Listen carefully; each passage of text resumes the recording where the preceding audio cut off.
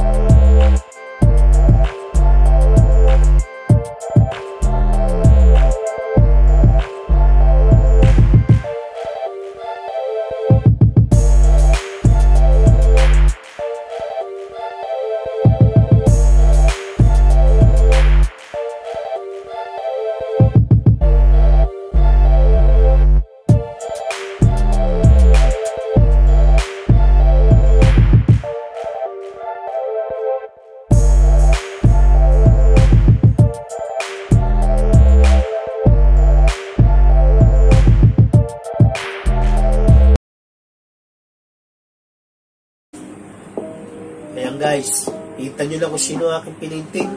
Nahulaan nyo ba? Siya po, si